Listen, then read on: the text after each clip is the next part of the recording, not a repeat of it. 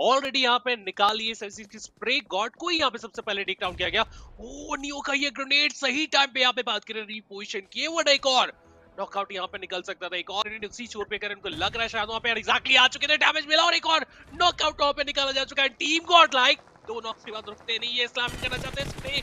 God को भी यहाँ पे नॉकआउट कर दिया जाएगा और हाथ से बाहर करेंगे प्रिंस की बात की जाए तो सेम सिनेरियो जी गॉड मौका नहीं दे रहे। देखते ही देखते सेवेंटीज के पूरे प्लेयर एक हट से गए। आखिरी प्लेयर स्मोक्स के अंदर है। इंटेल है इन्फॉर्मेशन है और इसी के साथ यहाँ पे एलिमिनेट कर दिया जाएगा टीम गॉड लाइक की तरफ़ से। काफ़ी अच्छा परफॉर्मेंस सेवन सीज के पर... के चलते ये चीज़ें। होगी टीम एक्सो के यहाँ पे। ओवर कमिट को यहाँ पे सबसे पहले नॉक आउट कर दिया जाता है और फिर शॉप भी करने के लिए यहाँ पे उनकी कोशिश करेगी न्यू की तरफ़ से लेकिन वो कनेक्शन मिलना यहाँ से, थोड़ा टफ था। लेकिन सबसे बड़ी बात रहेगी कि टीम एक्सो के लिए पिछला मैच उतना अच्छा साबित नहीं हुआ। यहाँ भी उनको यहाँ पे गॉडलाइक के अगेंस्ट अच्छी ओपनिंग मिल चुकी है टीम गॉडलाइक को तो एक्सो के लिए मुश्किलें यहाँ से खड़ी होने वाली है थोड़ी सी। सेंसिव को यहाँ पे फिनिश ऑफ़ किया जाएगा, कोई बैकअप सपोर्ट दी गॉड के तरफ़ से।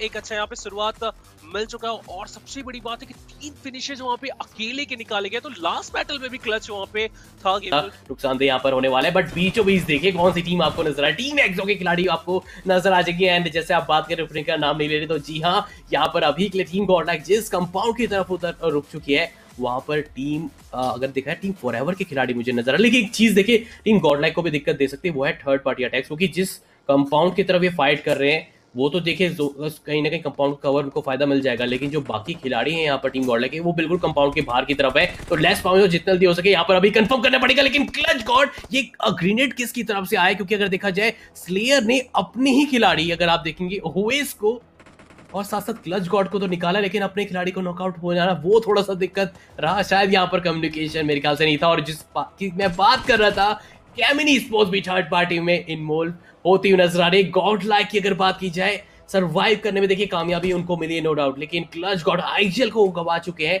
और कैमिन इतना क्यों सोच रहे हैं? आप आइए, अगर स्लैमिन कीजिए यहाँ पर, अगर आपको बेनिफिट नज़र आते लेकिन दूसरी तरफ़ डीएसएम के खिलाड़ी है शायद यहाँ पर बट जी नहीं टीएसएम मेरे ख्याल से थोड़ी दूरी पर है यहाँ फाइट में।